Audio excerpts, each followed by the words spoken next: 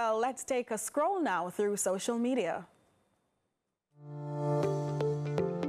So what's trending in our local social media spaces? Transport Minister Daryl Vaz says a suspect believed to be a taxi operator has been identified and is being sought by the police for damaging a JUTC bus which was captured in a video circulating on social media. Here are some reactions to the news. At years underscore truly asks, Uno not think about the people in the car? At Chiplock replied, him did think about the people them in the bus? At Shayla underscore X writes, Thank you. We are tired of these taxi drivers bullying us on the roads. At Kalizi K. Graham shares, Amen to this. As so if you use technology, enough is enough now, man. Good job. At Jacob PJ54 comments, Very good, too much lawlessness. Pick him up there.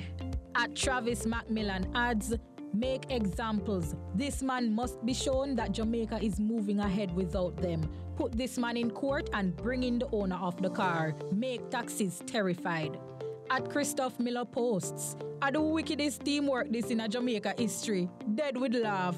All I I get work at the bus company Monday morning. And that's what's trending online today. Continue to share your thoughts with us on X at CVM TV and CVM underscore television on Instagram. I'm Trisha Gay Kelly.